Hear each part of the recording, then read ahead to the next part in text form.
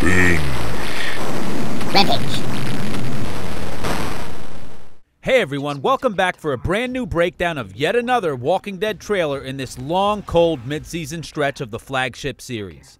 In less than a week, three different trailers have been put out along with episode titles and descriptions of the first three episodes coming up after the winter break is over. Behind the scenes, other important things are happening, and this video will help explain where the show is now and speculate on where it could be going in the near future. Warning, beyond this point there are spoilers for people who are not up to date on both Walking Dead series. The very first shot of this trailer, appropriately titled No Guarantees, is of someone who's been the topic of a lot of discussion in the last week, Lauren Cohan. It's been leaked to the press that Lauren has asked for a pay raise on the level of her male co-stars Andrew Lincoln and Norman Reedus. This hasn't been a deal breaker in the past because both actors have been on the series longer than her and tend to have more screen time. Lauren needs a new contract for season 9 though, and AMC did offer her more money for a long-term contract, but she refused the offer. Lauren is reportedly fielding offers for nearly half a dozen pilots next season, which means she still has not come to an agreement with AMC. The big question here is, does this mean that Maggie could possibly be killed off by the end of season 8? We think it's possible, but unlikely. AMC would have had to already have planned her death before November when they wrapped up shooting, unless they intentionally planned an open-ended finale the way Fear did for its season 3 finale. If they did plan it that way, AMC would have more power to negotiate with, but due to the lack of any comments from AMC about this matter, we're left in the dark. On the other hand, what if Maggie has already been killed off? If she had already been killed off, then she would in fact be fielding offers for a new job, as she is now, and this explanation does make sense. But story-wise, all of this is hard to swallow, especially with the expected death of Carl supposedly coming very soon. Given our limited information, we believe Lauren is using these offers to negotiate, but are not ruling out Maggie's possible death, which would be almost as big of a shock as Carl's. What if Carl somehow pulled through and Maggie was the one that ended up dying? We don't think the series could stand losing them both and that all the evidence is against Carl, but in the Walking Dead universe, you just never know. Now let's get back to the trailer.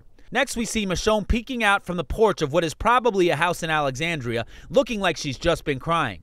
Some walkers are approaching, but it's not clear what exactly is going on here. Carol's lines here are ominous. Winning just means we get tomorrow. Maybe one more night. Her extremely bleak outlook could be due to a major death. Is it Carl or Ezekiel? Next, there's two sets of shots we've already seen in the previous trailers. First, Rosita struggling with a Swamp Thing walker. We know eventually she kills it. The first part of the just released episode description of Season 8, Episode 11 appears to be referring to Daryl and his group, Rosita included, in the swamps. Who is the bad company? Does Negan also have a spy, or is it these Swamp Thing walkers? The strange thing here is the fact that they're heading to the hilltop. Is this their first trip to the hilltop after they left Alexandria sewers, or is this after some new mission? Given the episode descriptions, we think this is how the next few episodes could play out. Episode 9 would cover the group coming up with their plan, but then staying with Rick, Michonne, and Carl in Alexandria. The story could cut back and forth between Carl's possible final moments and Carol and Morgan's rescue attempt, which we know takes place at night. Episode 10 could be about Enid and Aaron's story to get the Oceanside to join the fight, possibly cutting back and forth with Rick and Michonne's discovery of the garbage people walkers at the junkyard. Episode 11 will be about the rest of the group's trip to the hilltop, cutting back and forth with Father Gabriel and the doctor's trip from the sanctuary to the hilltop. All of these episodes would also have their appropriate dosage of Negan and the Savior story as they gear up for the last stand. We don't think all the main characters and communities will be united until episode 12 or 13, and that the last stand will ultimately be played out through the last two episodes and lead directly into fear. But we'll talk more about that later. We return to the trailer to see Tara with her pistol pressed to Dwight's temple, as obviously his loyalty is still in question. We believe Dwight is still a double agent loyal to Rick, but we've seen these shots before, and they don't tell us anything new, except Tara's got no love for Dwight. Then we cut back to Carol inside of some kind of supply room, still in body armor, delivering the rest of her dark statement. No guarantees. Next, we cut back to a shot we've seen in the previous trailer that matches a picture released last month of what is most likely Carol and Morgan's rescue attempt for King Ezekiel. Next, we see Negan and the Saviors, and hear a line from Enid we've heard before. But this time we hear the rest of that line and finally realize its context. The saviors are coming, and they will wipe you out. The description of episode 10 tells us a few things. First, that Aaron's alive. And second, both Aaron and Enid are trying to recruit the Oceanside into the fight again. We already know from the previous trailers that the groups are converging for one last stand, but the Oceanside community joining the fight could be what finally tips the scales in Rick's favor. Yeah, we'll leave you alone.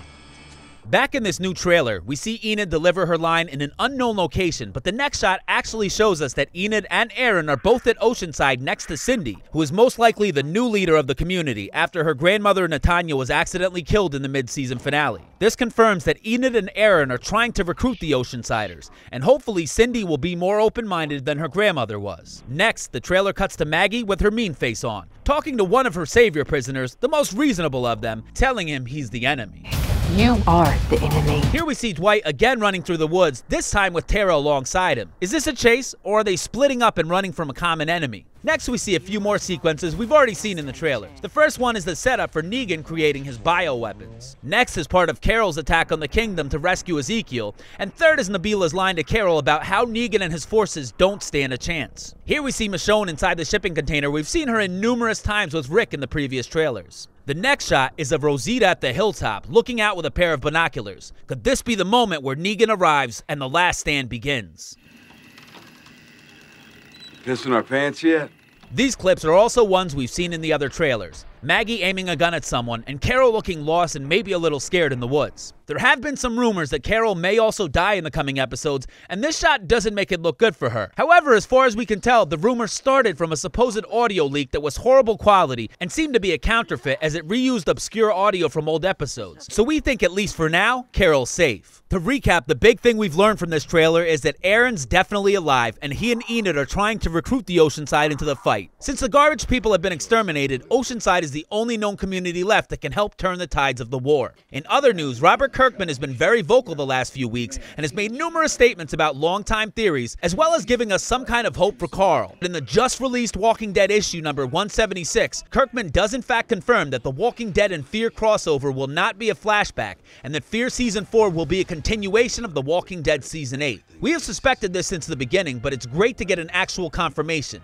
This is also confirmation that no matter what happens in All Out War, Morgan won't die. That's it for our video, folks. Thanks so much for watching and supporting our channel, as we've just hit 2,500 subs and 750,000 total views. We're going to keep making quality videos for everyone who supported us while we work on our next goal of 5,000 subs and 1 million views. We want to take this time to shout out fellow YouTubers It's K Fox, Judas the Saint, and Luis Furman for all their encouragement and support when our channel first started, and everyone else that has been with us since our first video. Shane. Please let us know your thoughts in the comment section below. Turn on the notifications button for our channel so you can see our next video as soon as it comes out, and don't forget to subscribe.